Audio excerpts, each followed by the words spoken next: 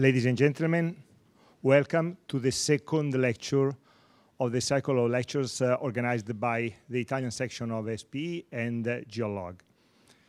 Uh, this, this uh, second uh, uh, lecture will be given by Professor Alberto Guadagnini of Politecnico Milan.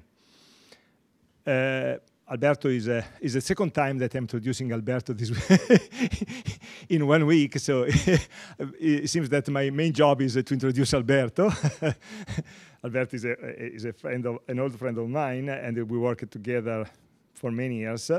Alberto now is a head of the Department of Civil and Environmental Engineering at the Polytechnic of Milan.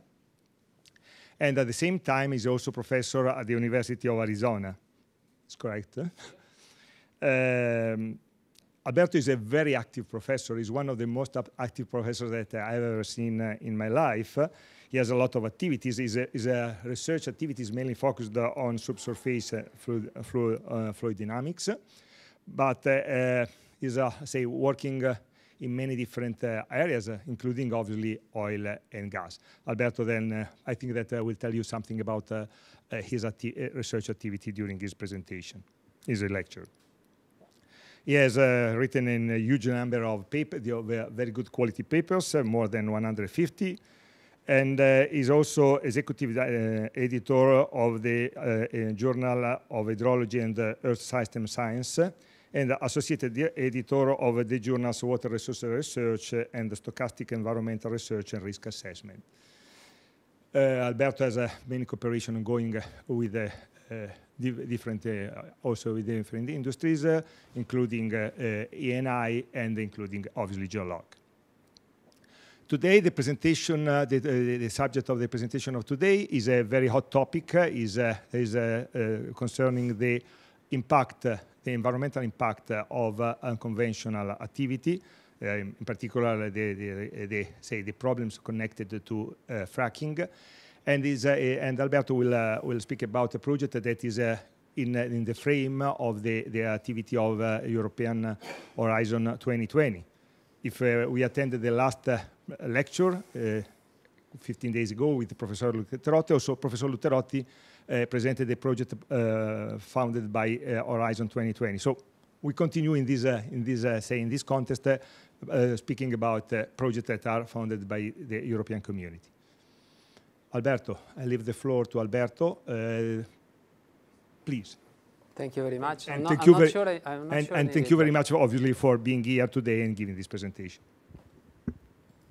Um, thanks, Mario, for the nice invitation. Thanks, everybody, for being here and suffering with me for the next 40 minutes or so. And uh, uh, I would just like to start by introducing uh, the, very briefly the, the research group.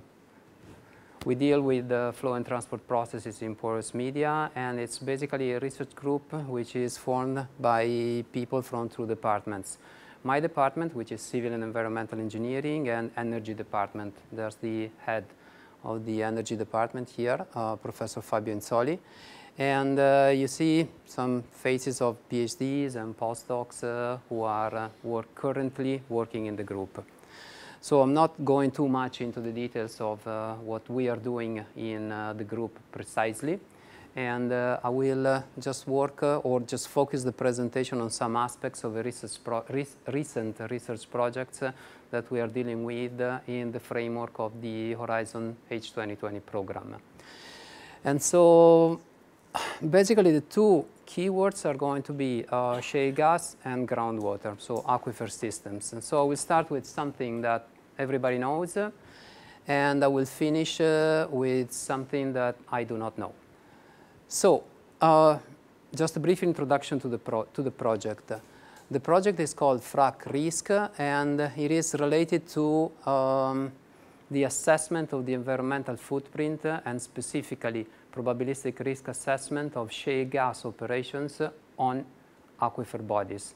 So I'm talking about freshwater aquifer systems and possible impacts that there can be. And uh, what I'm going to talk about is going to be mostly methodological. So the kind of methodology that we have set up in the project. Then, if you're interested in more details about other activities that we have in the project, uh, I will be more than happy to discuss them with you at the very end of the presentation. Just to give an idea, we are talking about a consortium of uh, 13 uh, members, including also Penn State University, so the Marcellus Center in, um, in Pennsylvania, with whom we have had and we are actually having a nice collaboration and uh, due to their extensive experience in, uh, shale with shale gas. Like I said, something that everybody knows. Uh, so we're talking about uh, shale gas. This is more or less the scale of the problem that we are interested in. And uh, we have a fractured formation, actually shale formation at some depth. We are trying to recover some gas or oil. And uh, the key point is to assess the impact of what we do down here to quality of groundwater around here. That's the key point.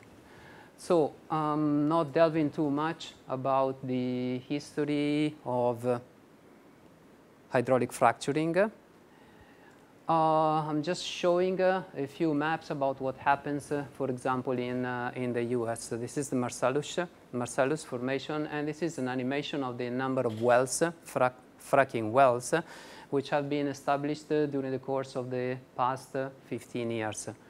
So the red dots are, well, the wells which were available, which were drilled between 2004 2005, when the formation was actually started to be developed and then we move on, and this is more or less the density of wells that I'm talking about over, over that particular area. Uh, well, there are two maps about the Marcellus Shale. We are talking about a formation which is a little shy of 3,000 meters, 3 kilometers below ground, with a thickness uh, which goes between, uh, I don't know, a couple of meters to about 80 meters. This is a type of development uh, which is done in uh, that formation in terms of wells. And uh, if we think that we are talking about uh, possibilities of the use of uh, shale gas energy only in this type of formation, well, if we consider what happens in Europe, well, we can have, and we actually did quite some more to establish some baseline of potential bases, basins in EU well within different geological settings where potentially there can be the possibility of uh, deploying uh, hydraulic fracturing techniques. Um, not entering into any discussions about uh, legal legislation arguments uh, and protocols about these sites. That's not the point of the presentation. The point is to start by showing that the topic is indeed uh, of very actual concern and practical concern in uh, all, over, all over the world. Like I said, something that everybody knows, uh, there are several stages in uh, hydraulic fracturing. Uh, if we consider the production, which depending on, the depending on the type of formation and the type of technology that we use, can range between 5 to 50 years, we have a couple of stages uh, which need a license. Okay? You need to somehow uh, obey to certain prerequisites, uh, which might be well or not well established in, in our systems. And the key point is to assess what happens uh, during these stages, which are uh, shooting of explosives. Uh, I'm using uh, hard terms, uh, terminologies just on purpose, okay? Shooting of explosives uh, to break the tubing and penetrate into the rock, uh, water injection with propellant and additives, uh, whatever it means, whatever they are, with different chemical compositions, uh, and then gas recovery. And the point is, um, what can be some issues of concern with all this setting of operations? That's the key point. Well, there can be several issues of concern, actually. We can call it concern, which we, we can call it consideration. That's a different story. So I'm going to focus on uh, groundwater contamination and the type of methodology that can be, or that at least we uh, set up to come up with some hard numbers in terms of risk assessment of groundwater quality due to this type of operations. Uh, so I'm not entering into other issues uh, which are related to impacts on soil, landscape, road transportation. Uh, so just to have an idea of the way la the landscape nowadays looks like in Pennsylvania, you can see that picture. That's a hydraulic fracturing pad, a well pad which is over there. I'm not talking about noise of transportation during the construction um, and uh, atmospheric emissions, uh, problems uh, or issues related to the ownership of the mineral resources. I'm simply focusing uh, on uh, the idea of groundwater contamination, the point of groundwater contamination. That's the only thing that I'm going to deal with today. Uh, groundwater contamination, uh, which can come, uh, well, from different, or from a, from a variety of possibilities in the system. First of all, water availability before, even before talking about uh, uh, water, water contamination. It really depends on context and on the way you convey the message in terms of water availability. Well, we are talking about uh, something like uh, 30,000 cubic meters per well, which is not so huge as a water requirement. We are talking about irrigation of, uh, I don't know, five hectares field, which might seem a lot or might not, might not seem a lot. But Let's say that there is one well per square kilometer per year, then uh, we do the math, and we're talking about 30 millimeters, millimeters per year. So it really depends on how you present the issue. If you talk about 30 millimeters per year, it sounds huge. Well, it's 5% in a country like Spain. I'm talking about arid or Mediterranean climate of the rainfall or 50% of streaming. So it really depends if you present it like this or like this, the issue. And I'm not even entering into a debate like this. The point is water availability. And then, of course, how long is the production? And uh, just be aware that our perception is always linked to the way that all these kinds of results are exposed. So, this said, uh, I'm entering into the topic of risk assessment.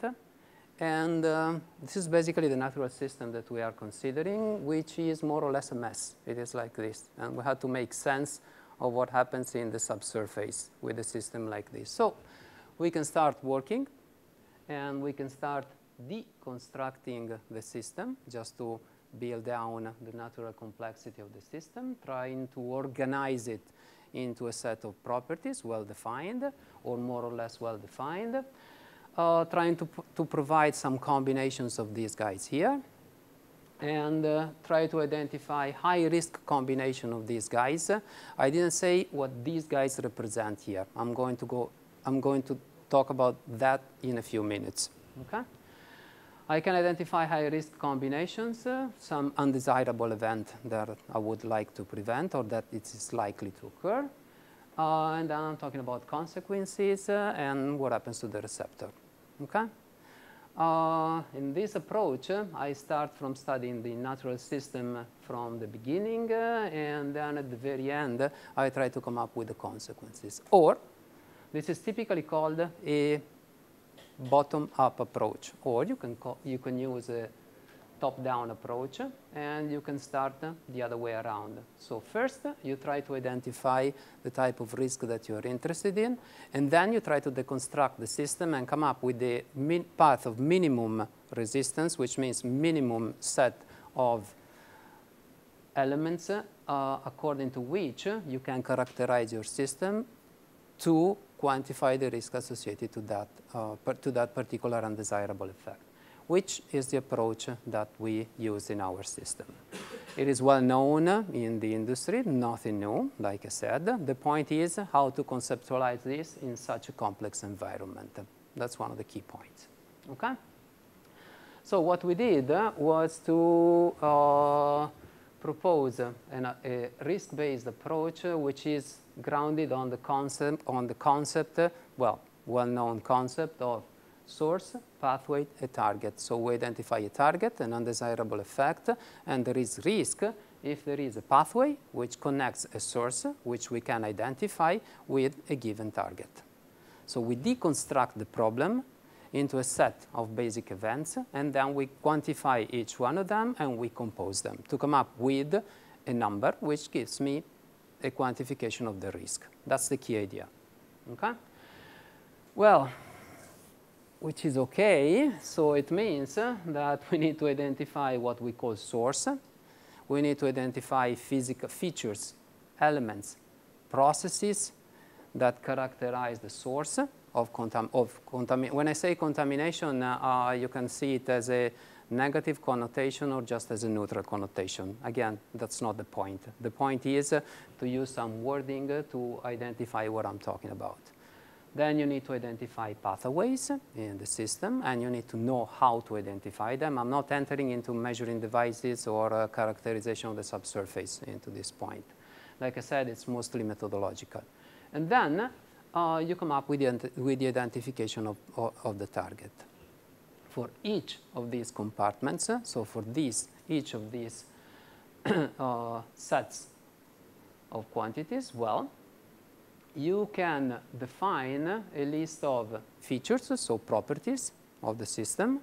You can identify events that can happen, and you can identify processes which can be either natural or anthropogenically induced or anthropogenically favored, which needs to be characterized with, in some way. And the way that I'm talking about is, of course, experimental and modeling based. Okay?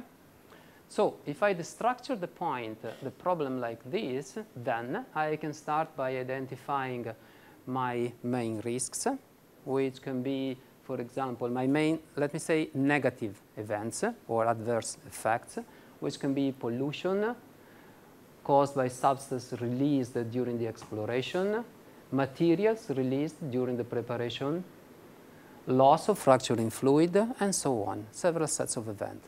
For each one of them, I will find a proper compartment in the system. I will link it to pathways and then sources, and I will try to join them through some sort of coherent probabilistic framework and uh, modeling and modeling framework.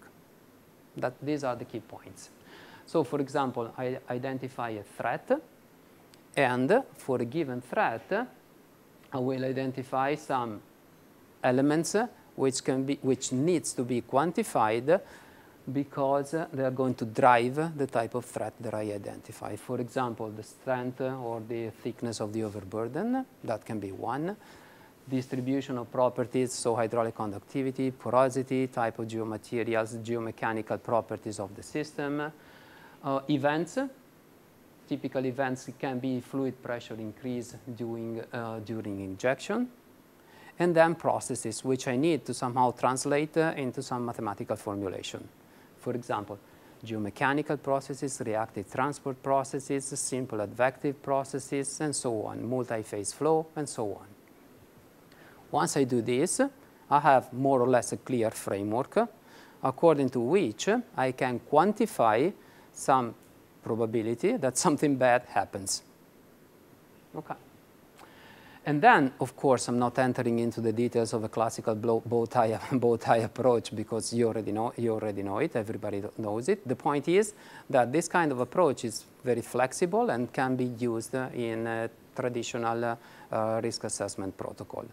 Note that as compared to other, uh, let me say, industrially based uh, probabilistic risk assessment uh, protocols. Here we are dealing with natural systems, and so the degree of complexity is uh, even higher, which means that either we destructure the problem, I'm not saying this way, which is, I'm not saying that this is ex an exclusive way. The point is that we need to destructure it into a set of coherent uh, basic elements. If we don't do this, uh, then uh, well, I'm not sure what to say. I mean, about the about understanding of the process. Once we, once we do this, we understand that we can have multiple sources, and so we focus maybe on one source at a time or on a combination of sources depending on, and we are driven by our perceived threat or hazardous event. Uh, we can have multiple pathways, and we can focus on only on the relevant pathways, if we can identify relevant path pathways, or on all pathways which are, which are existing. And then uh, we can assess what happens to the receptors. We can have a variety of receptors. It can be the, the quality of the water at a particular well.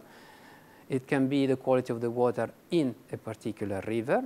It can be the ability, for example, of the soil uh, to provide uh, nutrients to, the, to, ve to vegetation. Depending on my target, then I go back during, along this chain and I try to quantify the links between all these terms. So uh, in the end, the idea is, of course, to embed monitoring and uh, data collections in each of these compartments to constrain uh, the probability to constrain our estimates of the probability that something bad or something good, you never know, or something good can happen in the system. Maybe we can also use it uh, to come up with recommendations. Let me call them science-based recommendations uh, in a unifying framework because the framework is exactly the same for all things. Then you can build it with, into the, with different modules. so that you can finally come up with ways of communicating to the general public, to the industry, to the university, because we need to be communicated a lot of things also in terms of universities, and to regulators. So we focused in this project on uh, several, let me call them elementary uh, or unit blocks of all these chains. We call them uh, uh, focused scenarios, which are related to the source, to the to pathways, and to the target. And I'm going to show you just, well, first of all, a set of the type of basic events that we considered, and then just a very simple and streamlined ideal application just to show the point uh, or to demonstrate the point. Then we can talk about more complex applications. Okay?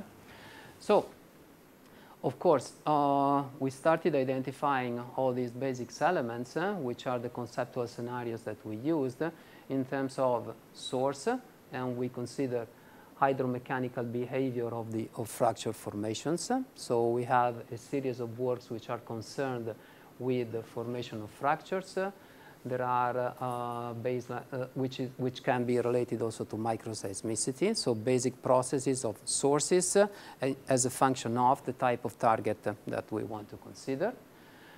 Um, then we go to the scale of the shale, for, we go up to the scale of the shale formation, and we can have fluid flow in fractures and pressure migrations in the pressure migration in the system chemical transport, so we can go into the overburden. And so these are all sources that we can consider, and then different types of pathways and targets.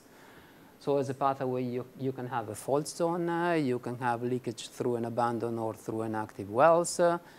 So you classify them, and then you reach the, uh, the scale of, the, of your aquifer system.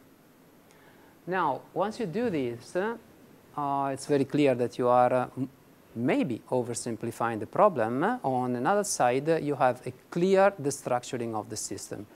You can allow yourself to study each one of them independently. And then the, the key part is to find a way to link all of them. So to study this part and find the input which goes to this scale, then the input which goes to this scale, and so on, in a reasonable, well, in a theoretically robust way.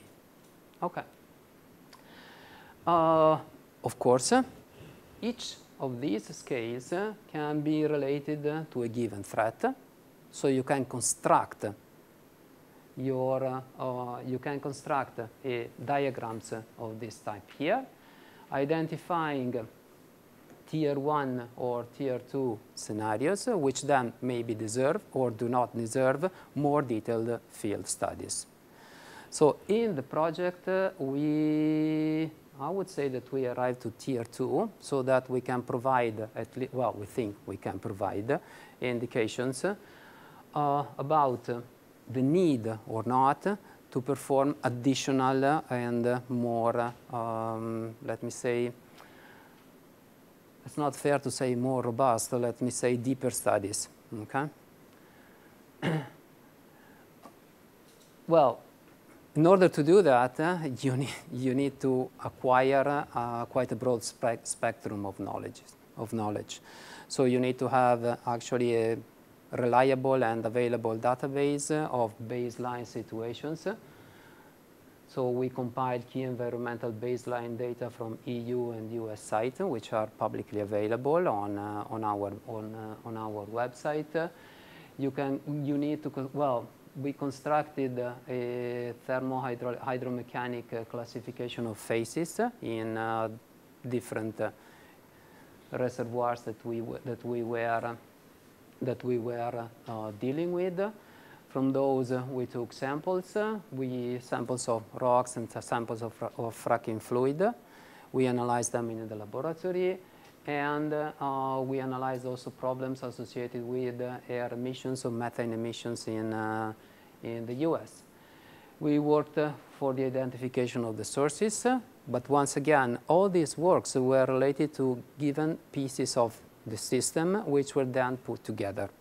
That was the methodological approach. So we had groups working on the characterization of sources, groups working on the characterization of models at one scale, on the characterization of models at another scale, and then integration of the models of different scales, and comparison against field data. That was the idea. That's why we were 13. Uh, well, we worked, of course, on, uh, well, on several things that I'm not going to, that I'm not going to mention in, uh, in the talk. Okay? But we had a comprehensive analysis of, of all the elements. Sorry. So now what I'm talking just as a simple example, I'm going to show you what can be done with uh, to couple source and uh, pathway to reach a target. So what it means coupling the two. Okay? Well, what it means. Uh, what it means means to write a set of partial differential equations. It means to solve them, and then it means to look at the results. Okay, all jokes aside, Okay, that's a way of putting it. All jokes aside, it means, uh, well, analyzing all the physical processes which happened here. So how fractures can be firm, uh, formed, how they can propagate, and whether they can reach the overburden.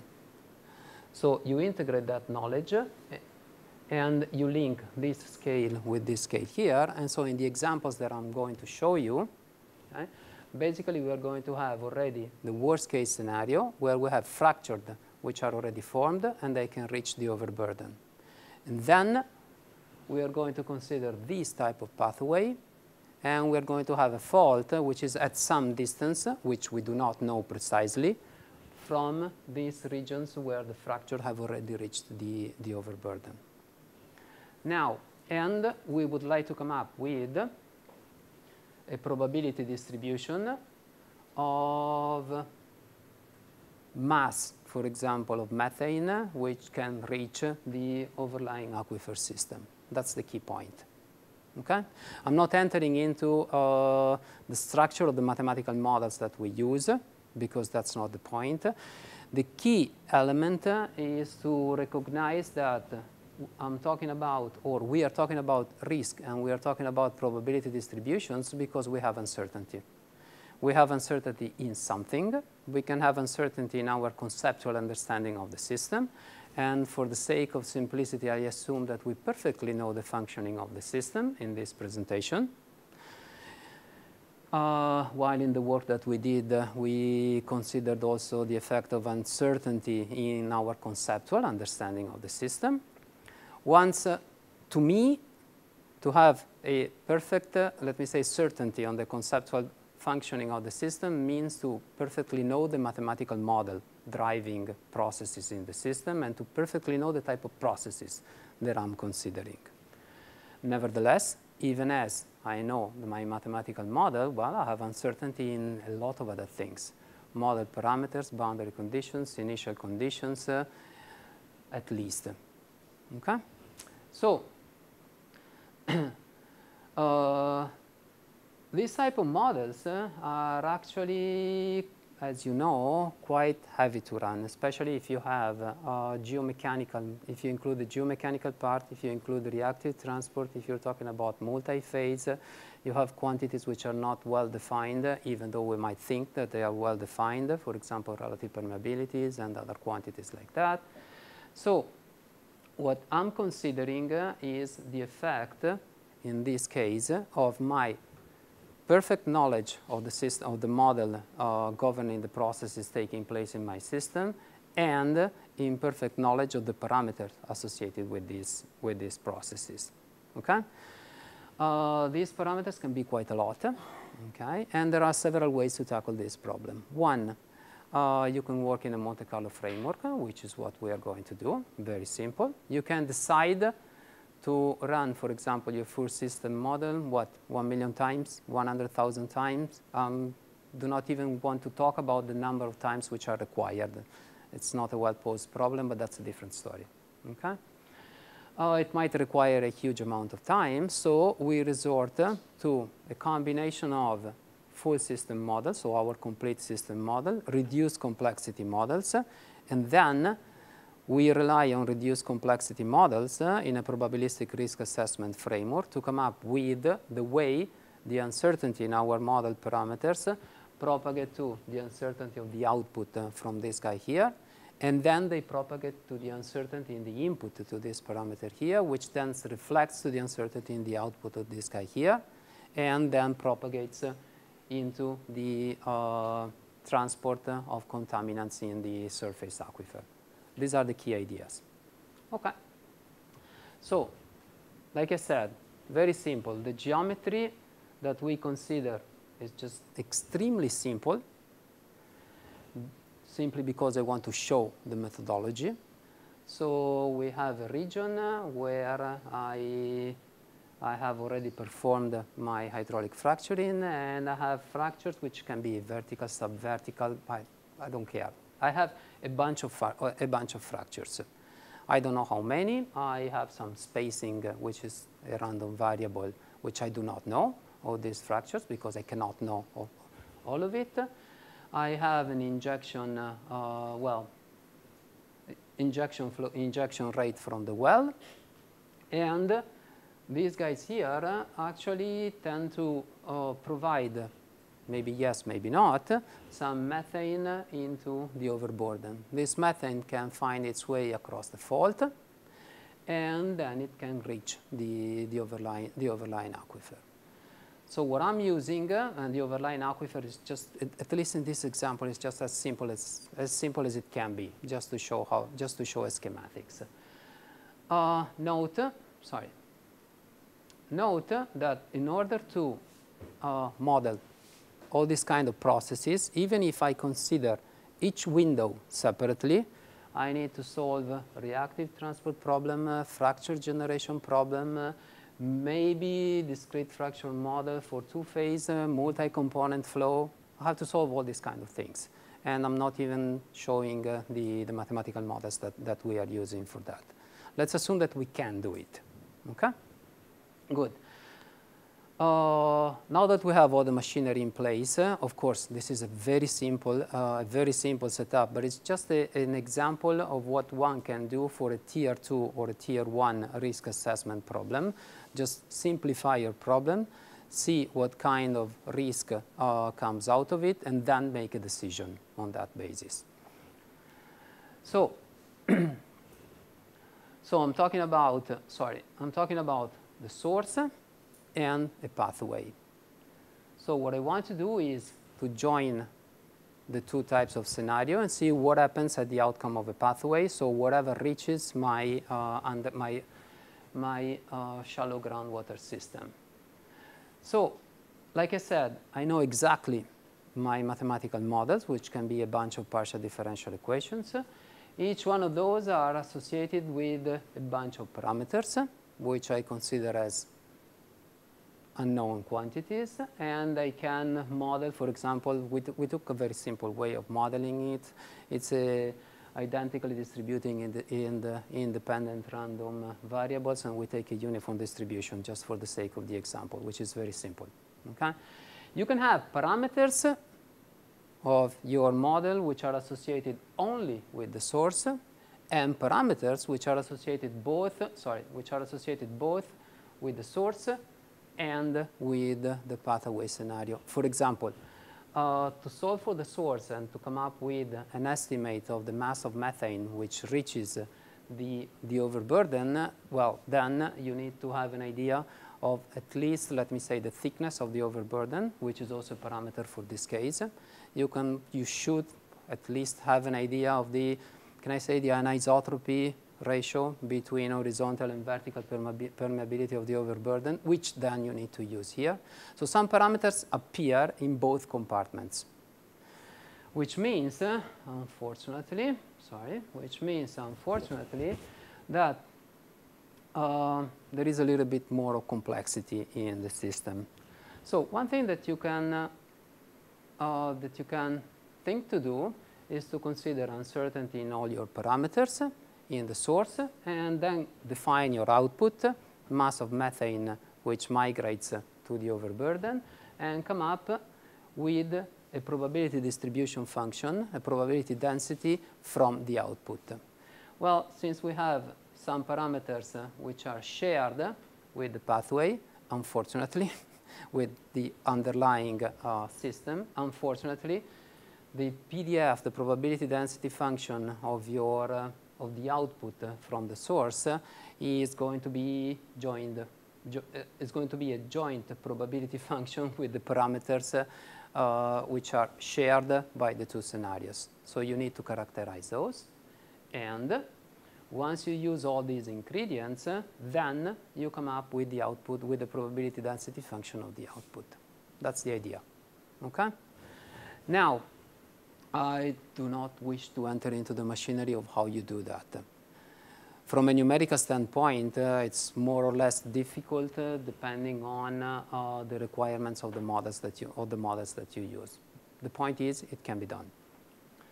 Once I do that, then you put everything together in a unique tool, which is uh, a tool that we prepared in, uh, in the project. And uh, then you can relate the different scenarios through, sorry, through these guys here. So this is the key to relate the different scenarios. So you can treat them independently, then you calculate or you estimate the joint probability distributions uh, between parameters which are shared across scenarios and output variables. Actually, we're talking about output from the one scenarios and input to the other scenarios. And this is the, one of the key ingredients which goes to the, to the other scenarios. If you do it like this, you can work separately. Okay, you need to be careful about the input of the of the, of the different of the in the chain of the scenarios, and that's the point. This is time consuming. Okay? And uh, since it is time consuming, here there is a summary of all the steps that I, that I, just, out, that I just outlined. So we are here. Okay? Now we have to deal with, uh, now let, let's say that we are satisfied with the general idea and we need to do the calculations and we cannot do it in the sense that actually, no, it's not true that we cannot do it. Maybe it is going to take a month. So maybe if it takes a month, it's unfeasible. So the idea is to use uh, reduced complexity models. You can use any type of reduced complexity model that you wish and that you're comfortable with. with. You can use Gaussian emulators. For example, we decided to use something which is called polynomial chaos expansion reduced models, which is extremely simple to use. And then you can analyze through either global or local sensitivity analysis techniques the impact of the different parameters on the probability distribution function of the output. Okay? Now, what does it mean to train a surrogate model? Well, it means starting from a surface like this, which is the result of, the, of your full model, coming up with the reduced with the reduced complexity with the reduced complexity. Let me say smoother or lower dimensional uh, surface and then use this one your, in your risk assessment probabilistic risk assessment procedures. Uh, it can cut down the, the operational time uh, dramatically. In this case it is a polynomial so it's just a matter of minutes to come up with well minutes maybe 10 minutes to come up with probability distributions which are at least to me, which are robust enough for tier two assessment, risk assessment, and to have an idea of the type of probabilities that we are talking about. And then there is the point of uh, uh, defining uh, the effect of, all of, of your uncertain parameters in the systems. There are several techniques to do that, and it all boils down to come up with a way of quantifying the relative importance of parameter A, parameter B, or parameter C to key statistics of your output.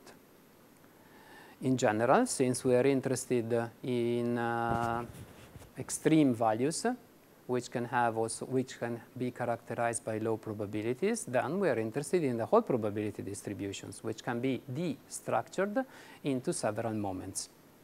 I can have zero order moment, which is the mean, second order moment, the variance, and so on, and the fourth order moment, which provides you a definition of the weight of the tails of the distribution.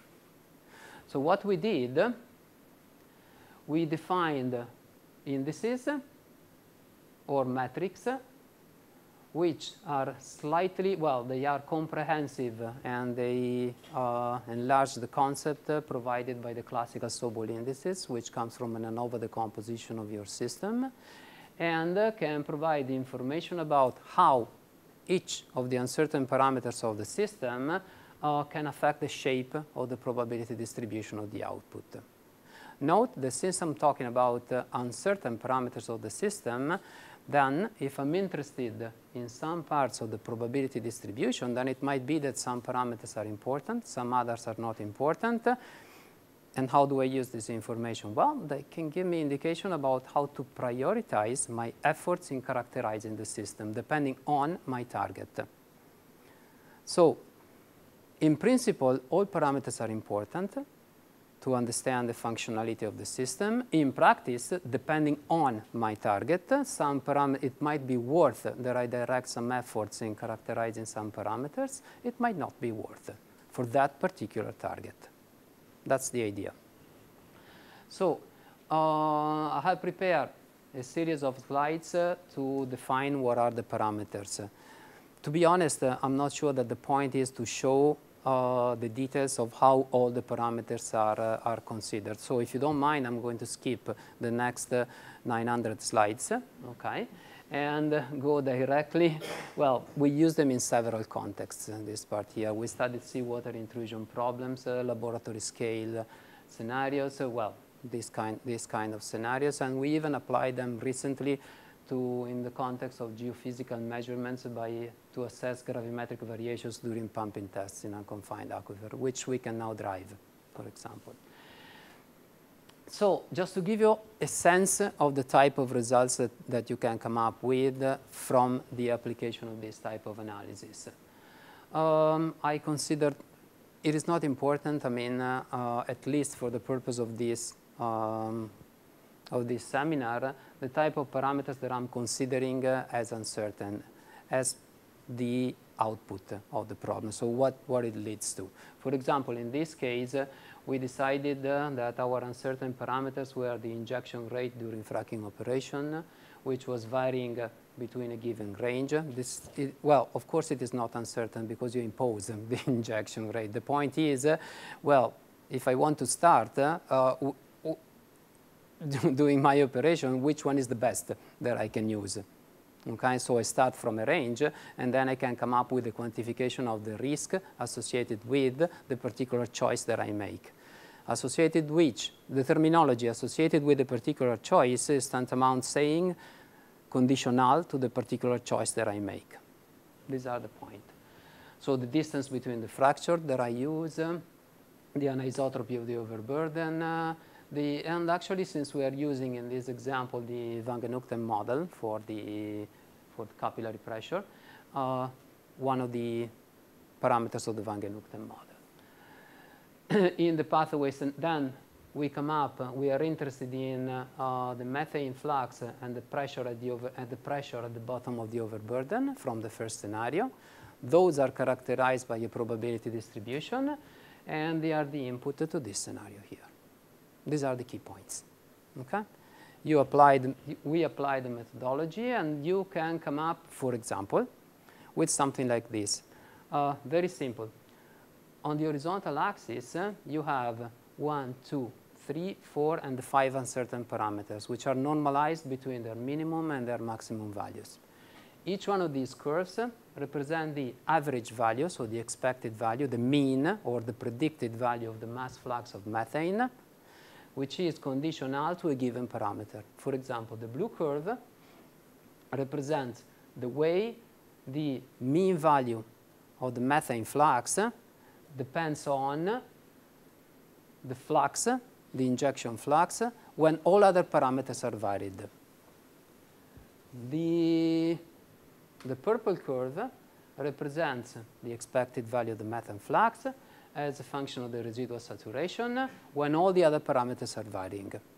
So I fix one of these parameters. So for example, for this case, I fix the density of the fractures at a given, at a given value.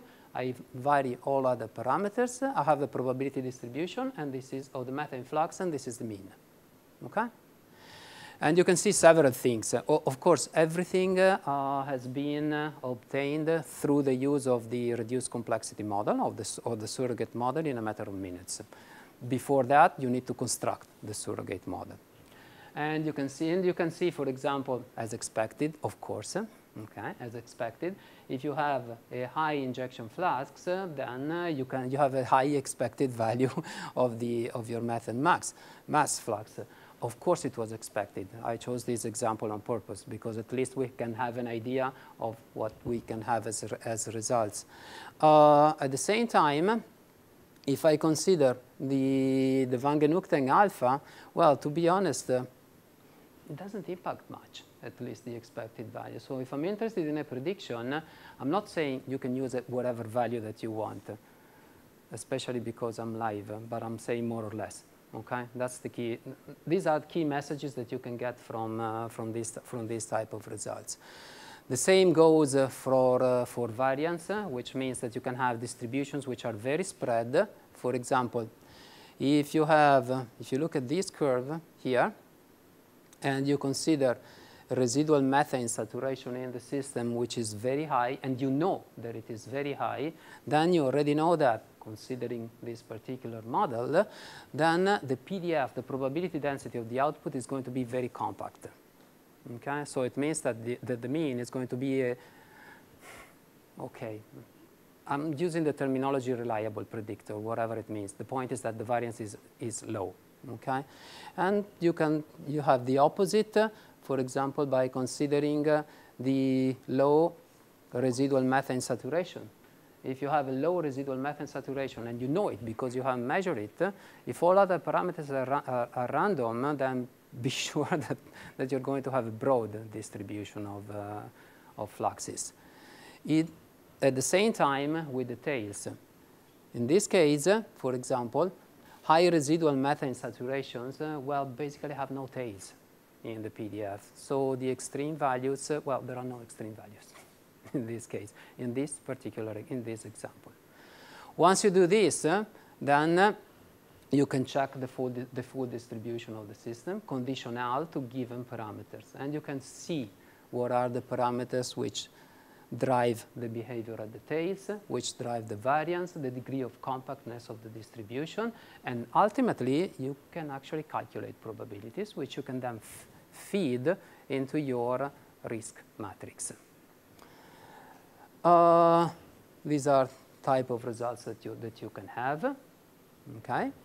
Which is, for example, in this case, uh, the probability density function of the mass of methane that I can have, and then you can come up with different quantiles of this probability density. And then they can give you a risk, which is quantifiable in the system. Then, of course, you need to make sure that your surrogate model is, um, is good which means that if I look at a scatter plot like this, uh, on the horizontal and on the vertical axis, uh, I have actually the same quantity, which is computed with the full model and with the surrogate model. Depending on the type of uh, complexity of the system, you might have a good or a bad agreement. I'll let you judge if it is good or bad. On the basis of this analysis, uh, the point is you need to be very careful in the type of surrogate or reduced complexity model that you, that you select. Okay? There is no universal recipe, and that might take some time to find some adjustments. Okay? So for example, in this case, uh, you can identify that the key parameter driving uh, the mean, or the mean flux of methane, was the permeability anisotropy of the overburden. And it's just a solid output of this type of, uh, of this type of analysis. Uh, I'm not talking about the generality of universality of the results. I'm talking about the methodology, which is shown with a simple example. Okay? You can play with probability distributions. For example, in this case, it is very clear that if I condition, so if I know exactly the degree of anisotropy of the permeability of the overburden, then I can have very different and very compact shapes of the probability distribution of my, uh, or my methane mass. Well, as a matter of fact, here we are plotting 1 minus the, probabi the probability distribution, which is the survivor function. Okay. If you don't know it, uh, well, you might be happy or not in having a huge uncertainty. The point is you're going to have a huge uncertainty, and unless you characterize that particular quantity, well, you're going to live with that uncertainty. But at least you know what you have to do if you want to reduce that uncertainty to a, manage, to a, uh, to a manageable system. And then you can include it uh, in, uh, in risk-based uh, protocols, and you can come up with corrective actions which are based on solid, uh, on solid numbers. And I would say that I will end with uh, this slide where I show all the members of the, of the project and the type of activities that we, that we have done and that we are doing in the project is almost finished, this part here. I thank you for your attention. I'm not sure if I'm over time, but in any case, I thank you for your attention and I would be more than happy to take any questions that Mario can answer to. Thank you.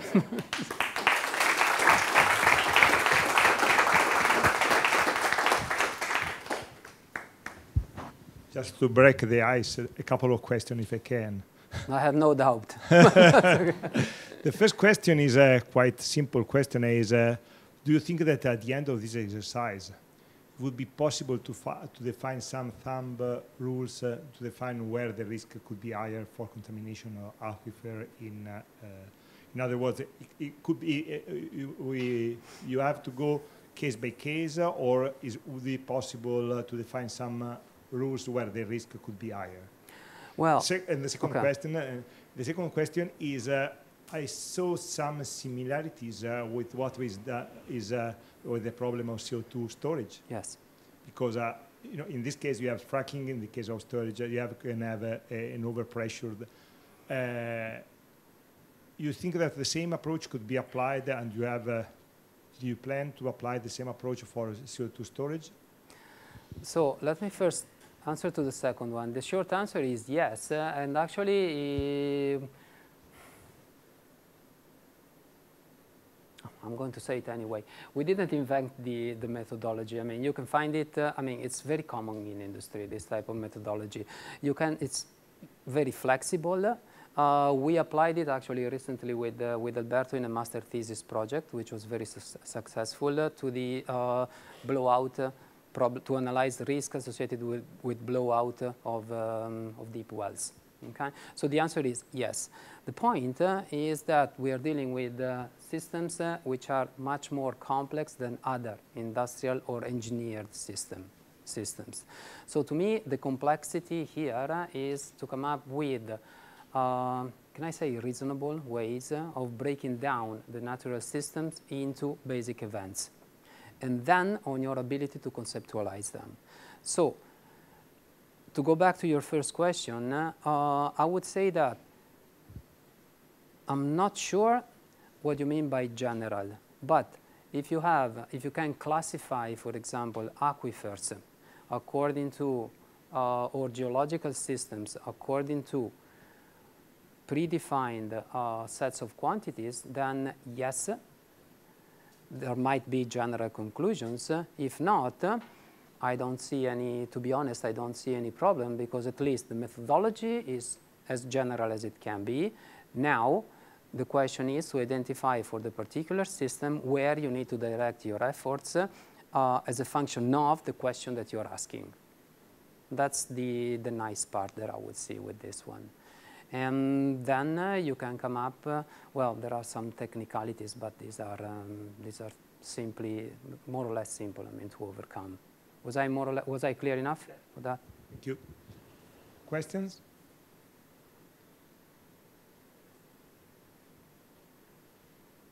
No questions? So thank you very much indeed for your It was a pleasure. for your presentation. Very very good, uh, excellent presentation. And I leave the floor to Alberto for some comments uh, from SPE. Thank you very much. Uh, well, first of all, uh, ah, we, we have to finish uh, by clapping our hands, so we cannot leave it like this. Thank you. Thank you very much. So a couple of, uh, of, comments which came into my mind while listening to, to the presentation. Uh, first of all, you may have heard, you surely have heard about all the, um, let's say, troubles created by Cambridge Analytica in using uh, Facebook data for the elections, or you may have be, be, very familiar with the fact that you take a picture and uh, Facebook uh, make, puts a, a square around your face and tells you who you are actually all these uh, methods are behind also all those, uh, those techniques. So actually what happens is that behind the scenes, mm -hmm. all these technologies, despite the fact that they seem so complex, actually, because it's a very complex thing, but when you transform this into a real product, then you can see the immense power that it has, and also the, the fear that it can create uh, if applied, misapplied, let's yeah. say, from a certain point of view. So actually, uh, in the industry now we have the uh, digital twin concept. I don't know if you ever heard about this. The digital twin concept is that we have a plant, but we also have a twin of the plant in digital form, which means a sort of a simulator which creates uh, uh, the same effect of the plant. And the future of the oil industry, of, of many industry, industries, may be to have a very complex object, the digital twin of this object, and take decision based on what the digital twin does. Uh, if you do not master very, very deeply these techniques, the digital twin cannot exist at all. So actually, in, from many points of view, the future of, of the oil industry in the effectiveness of digital techniques is associated to mastering all of these. And, and of course, mastering this is difficult because it's a difficult topic, but actually it, uh, it is immensely power when used in, in the appropriate way. So it's a suggestion to deepen your, your understanding of these topics, even if they look like a little bit scary. Uh, the last um, comment I wanted to, to make uh, is, is, this one. Um, uh, this uh, uh, contamination of the aquifer from fracturing operations has, has been, uh, you know very well, has been very controversial. I mean, there has been a lot of uh, hype in the United States, but also in Italy in the last referendum related to the fact that the oil industry is creating a lot of troubles, is destroying the waters and so on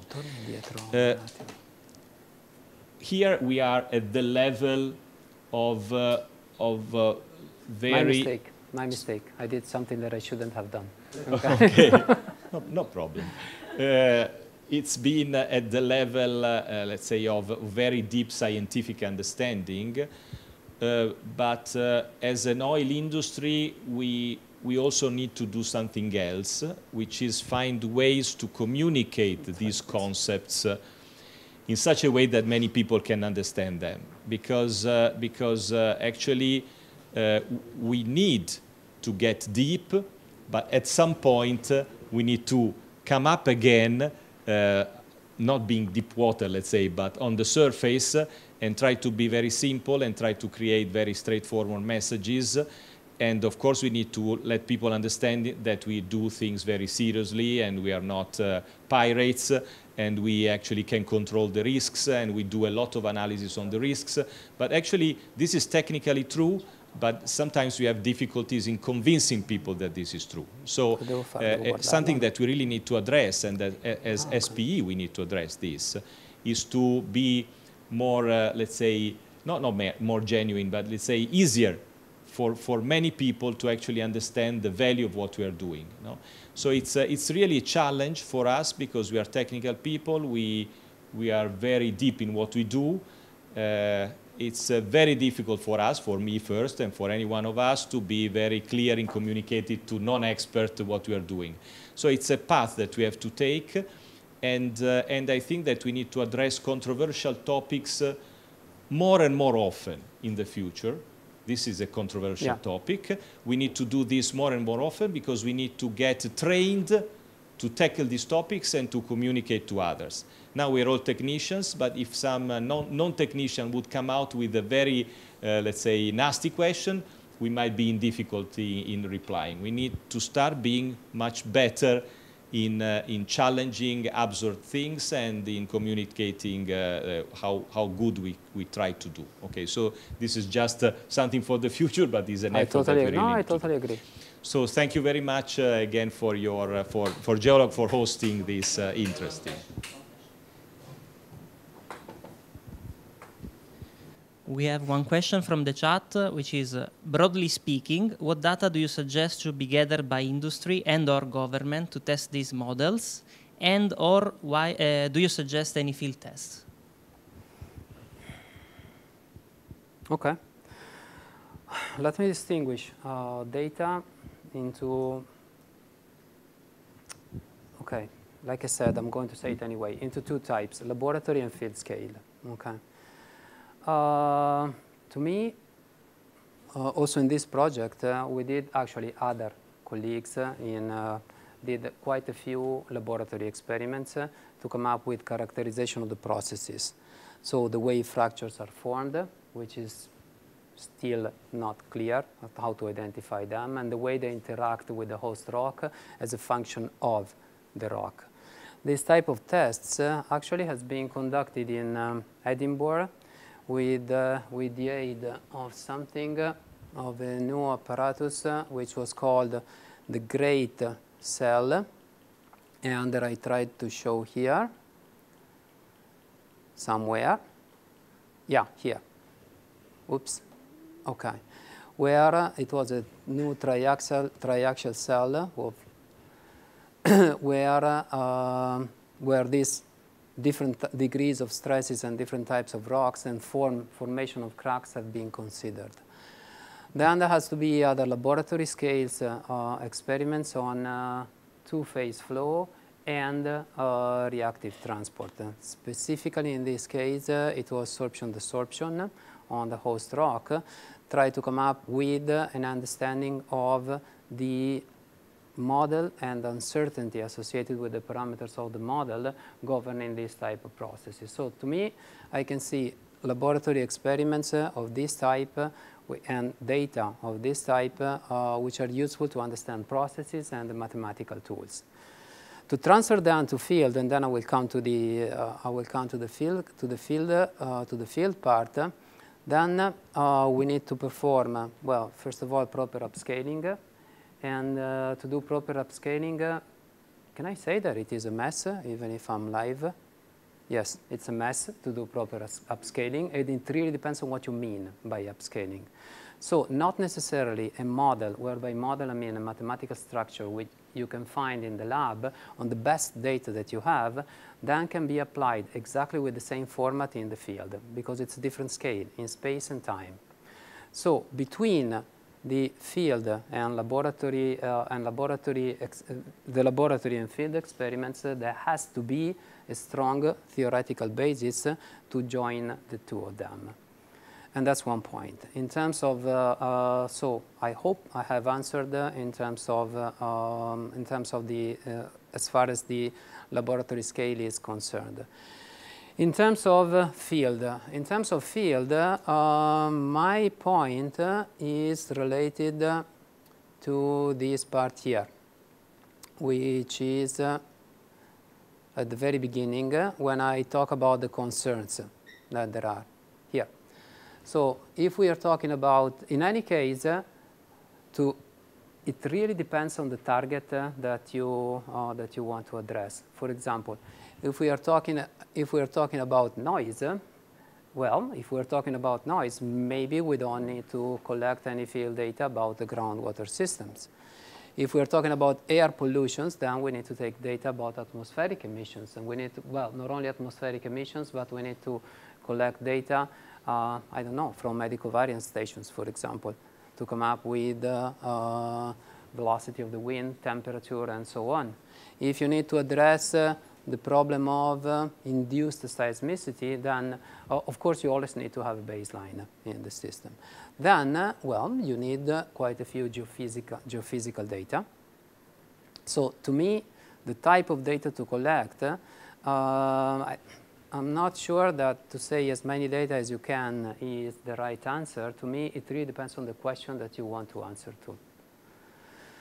Hope I was clear enough because I don't, I'm not sure I have a universal recipe depending on, uh, on the field. But with this type of deconstruction of the problem, then you can understand what are the key parameters driving your system, and then you can understand what field investigations and at what, and at what scale to perform to constrain those parameters.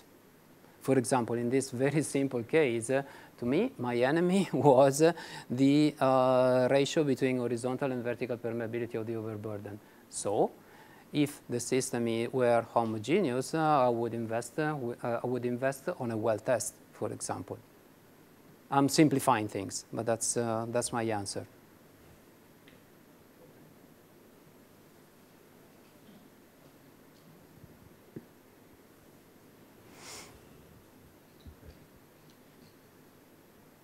Okay, thank you. I think uh, we have no other questions, so thank you very okay. much. Now it's time for the applause. Thank you.